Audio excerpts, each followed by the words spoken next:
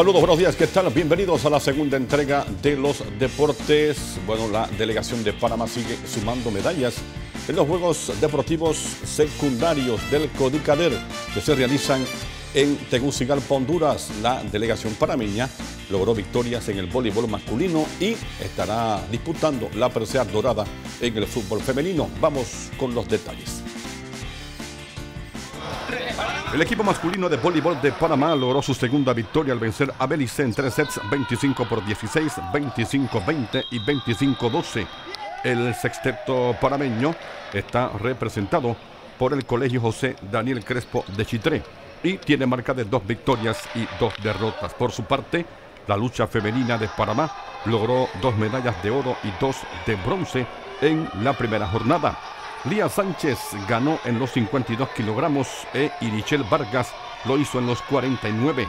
Bueno, esta fue una competencia, no puedo decir que fácil, pero bastante satisfactoria. Y represento al Colegio de la Sierra en la categoría de 49 kilogramos. Y me siento feliz.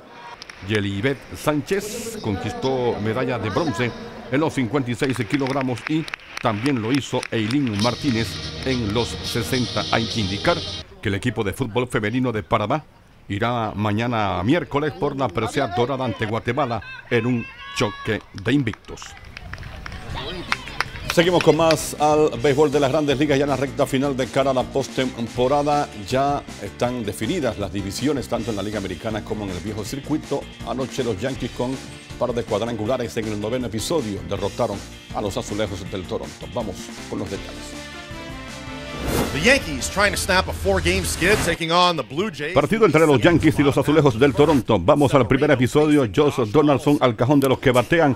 El derecho Luis Severino trabajando por los Yankees. Un lanzamiento pegado al cuerpo. No le gustó para nada a Donaldson. Vamos a la segunda entrada. A-Hub también enfrentándose a Chase Headley y ahora sí lo golpeó rápidamente la intervención del árbitro indicando a las dos bancas Donaldson. Le gritaba algo a Severino. Aquí fue expulsado y se formó como decimos en buen panameño ambas bancas quedaron totalmente vacías.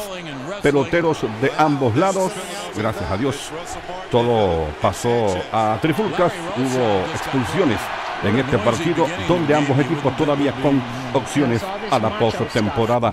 Ahí está la atenta mirada de Luis Severino. Vamos al noveno inning. Los Yankees perdían tres carreras por dos. Mar Teixeira con este enorme cuadrangular empató la pizarra a tres anotaciones. Los Yankees con opciones todavía de estar en playoff. Seguidamente vino al cajón de los que batea Aaron Hicks bateando a la zurda y también la botó de cuadrangular, quebrando un empate a tres carreras. La victoria para los Yankees sobre el Toronto por pizarra de siete carreras por cinco. En el noveno episodio, los problemas vinieron con los Yankees, sin embargo, con las bases llenas. Troy Tulowitzki fue dominado en elevado en una jugada magistral del guardabosque izquierdo Brett Gardner para acabar con la amenaza del Toronto. Un duro golpe para el equipo de Canadá. La victoria para los Yankees 7 a 5, todavía con opciones de estar en postemporada.